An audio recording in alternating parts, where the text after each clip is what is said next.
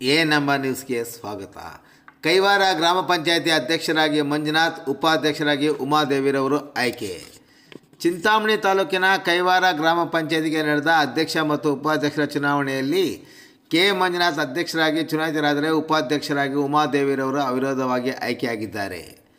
ಕೈವಾರ ಗ್ರಾಮ ಪಂಚಾಯತಿ ಒಟ್ಟು ಹದಿನೆಂಟು ಸದಸ್ಯರನ್ನು ಹೊಂದಿದ್ದು, ಇದರಲ್ಲಿ ಜೆ ಡಿ ಎಸ್ನ ಏಳು ಮಂದಿ ಹಾಗೂ ಮಾಜಿ ಶಾಸಕ ಎಂ ಸಿ ಸುಧಾಕರ್ ಬಣದ ಏಳು ಜನ ಗೆಲುವನ್ನು ಸಾಧಿಸಿದ್ದು ಇನ್ನು ನಾಲ್ಕು ಮಂದಿ ಅಭ್ಯರ್ಥಿಗಳು ಸ್ವತಂತ್ರವಾಗಿ ಕಣಕ್ಕಿಳಿದು ಗೆಲುವನ್ನು ಸಾಧಿಸಿದ್ದಾರೆ.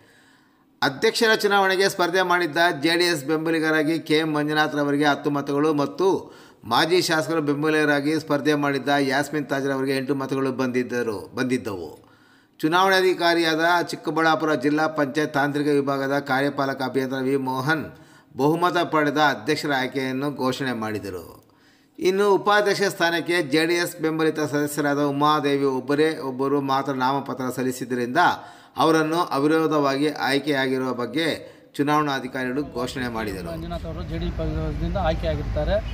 ಊರು, ಊರಿನ ಪ್ರಮುಖ ಊರಿನ ಪ್ರಮುಖ ಸಮಸ್ಯೆಗಳಾದಂತಹ ಪ್ರಮುಖ ಸಮಸ್ಯೆಗಳನ್ನು ಏನು, ನೀರಿನ, ನೀರು ಚರಂಡಿ ಸ್ವಚ್ಛತೆ ಬಗ್ಗೆ ಮುಂದೆ ಅಭಿವೃದ್ಧಿ ಮಾಡಬೇಕು ಅಂತ ಅಂದ್ಬಿಟ್ಟು ಅಧ್ಯಕ್ಷರಲ್ಲಿ ಹಾಗೂ ಕೈವಾರ ಗ್ರಾಮದ ಎಲ್ಲ ಜನಗಳ ಪರವಾಗಿ ಎಲ್ಲರೂ ಅದನ್ನು ಮುಂದೆ ಯೋಚನೆ ಮಾಡ್ತಾ ಇರೋದು. ಅದಕ್ಕೆ ನಾವು ಅಭಿವೃದ್ಧಿ ಪತ್ರದ ಕಡೆ ಗೋಸವಾಗಿ ಅವರಿಗೆ ಸಹಾಯ ಮಾಡಿ ಗ್ರಾಮ ಪಂಚಾಯಿತಿಯನ್ನು ಗ್ರಾಮ ಪಂಚಾಯಿತಿ ಕಟ್ಟಡ ಕಟ್ಟೋದಕ್ಕೆ ಹಾಗೂ ಇನ್ನಿತರ ಎಲ್ಲ ಸೌಲಭ್ಯಗಳಿಗೂ ಮತ್ತು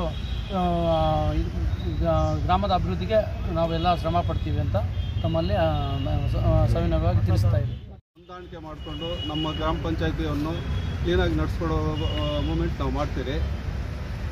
ಜೆ ಡಿ ಎಸ್ ಪಕ್ಷದಿಂದ. ಜೆ ಡಿ ಎಸ್ ಪಕ್ಷದಿಂದ ನಮ್ಮ ಎಂ ಎಲ್ ಎ ಅವರು ಮಾಡಿದಂಥ ಕೆಲಸಗಳಲ್ಲಿ ನಮ್ಮ ಹತ್ತು ಜನ ಸದಸ್ಯರನ್ನು ಗೆಲ್ಲಿಸ್ಕೊಟ್ಟಿದ್ದಾರೆ ಹಾಗಾಗಿ ನಾವು ಅಧ್ಯಕ್ಷರಾಗಿದ್ದೀರಿ.